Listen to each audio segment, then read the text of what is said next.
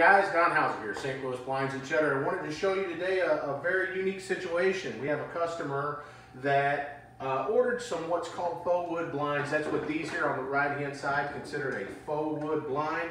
You can tell uh, a faux wood blind because usually the amount of lift strings that are holding this blind up, we have one, two, three, and four. I know that might be kind of hard to see, might be easier to see if I lift it up and show you. We've got one, two, three, four ladder strings holding that blind up. We also have four strings coming out the right hand side of the headrail. Those strings are all attached to these lift strings and that's what operates the blind in the up and down position. Right next to it we have a full wood blind, okay? With the wood blind we only have one, two lift strings. Okay, and the reason for that is because the wood is a much lighter material than the faux wood.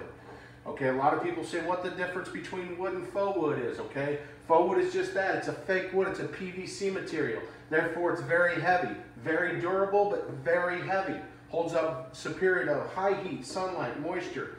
But you're always gonna get these extra lift strings in here because of faux wood blind. With a wood blind, it's just that. North American hardwood's very light material. It's gonna stay flat for a long time. It's a painted material, so what are you gonna get uh, prone to some cracking and fading over time.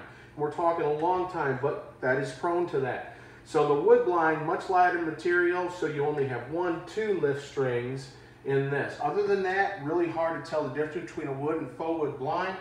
Make your choice which one you like. If we can help you at all, we're St. Louis Blinds and Shutters.